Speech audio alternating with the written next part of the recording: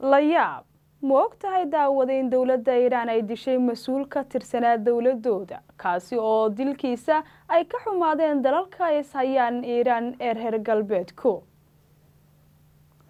Dowladda iiraan ayaa xukun daldalaada ku fulisay wasiir ku-xigeenkii hore ee gaashaandhigga dalkaasi kadib markii lagu eedeeyey in uu basaasay boqortooyada ingiriiska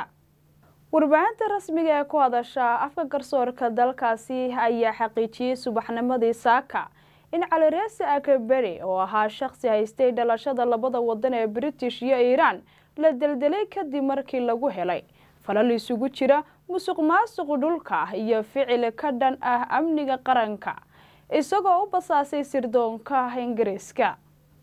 Warbaahinta ayaa intaasi ku daraysa in akaberi hore lagu xukumay dil toogasho waxaana ay carabka ku adkeeyeen mas'uuliyiinta xukuumaddu inuu dhaawacay amniga gudaha iyo dibadda ee dalkaasi isagoona macluumaad xasaasiya u gudbin jiray sirdoonka u k. Waa sida ay ku eedeynayaan. Wakaalada wararka garsoorka iiraan miisaan ayaa ku warantay maanta in wasiir ku-xigeenkaasi hore la deldelay. Inkastoo aysan sheegin waqtiga iyo goobta uu ka dhacay xukunka dilka ahiba geesta kalena dowladaha britain iyo mareykanka ayaa hore uga codsaday mas'uuliyiinta iiraan inay sii deeyaan master akbare waxaana ay ku tilmaameen xukunkaasi dilka ah mid siyaasadaysan. Ma tahay daawade in akabere oo cod qarsoodi ah la wadaagay warbaahinta caalamiga ah muddadii uu xabsiga ku jiray. Uu sheegay in loo geystay jirdil badan isla markaana lagu qasbayay inuu qarto dembi aanu waxba ka ogeyn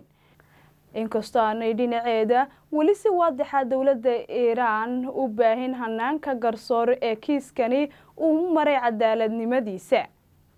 alirese akaberi waxa uu dhashay bishii oktoobar ee sannadkii kun sagaal boqol iyo koob lixdankii. Waxa uu ahaa siyaasi iiraani ah oo soo noqday wasiir ku-xigeenka gaashaandhigga ee dalkaasi muddadii u dhexaysay sanadadii labadii kun ilaa iyo labadii kun iyo sideedii waxaana xabsiga la dhigay sannadkii labadii kun iyo sagaal iyo tobankii isagoo u safraya xilligaasi dalka ingiriiska oo ku noolaa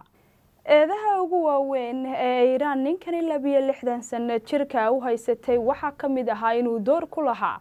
dilkii saynisyahankii ugu sareeyey saameynta nukliyerka iiraan ee labadii kun iyo labaatankii